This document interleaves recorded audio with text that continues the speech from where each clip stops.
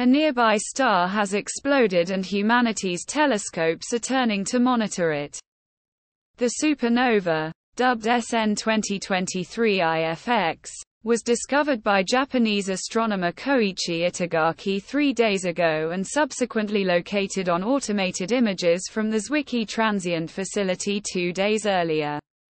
Rapid follow-up observations already indicate that SN 2023 IFX is a Type II supernova, an explosion that occurs after a massive star runs out of nuclear fuel and collapses.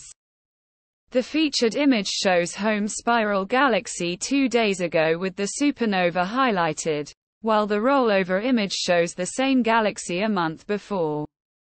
SN 2023 IFX will likely brighten and remain visible to telescopes for months.